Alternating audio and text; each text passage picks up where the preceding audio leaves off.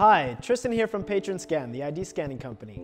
Right now I'm going to show you how to use challenge questions on Patron Scan.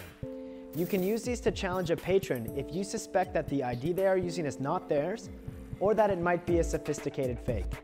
I'm going to start up the ID scanner and take over the top left of the screen. So this is the scanning screen. This spot here displays a live feed from the high definition camera.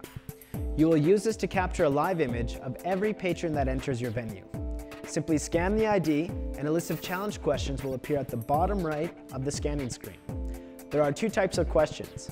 You can ask the patron questions related to their birth date on the ID, such as their zodiac sign, or you can also ask the patron questions about where the ID is from, like what is written on the license plate in that state or province, or ask the patron for their area code.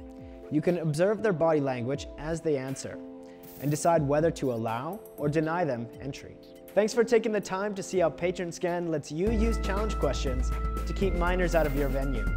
You can find out more at patronscan.com or give me a call and I can give you a live online demonstration.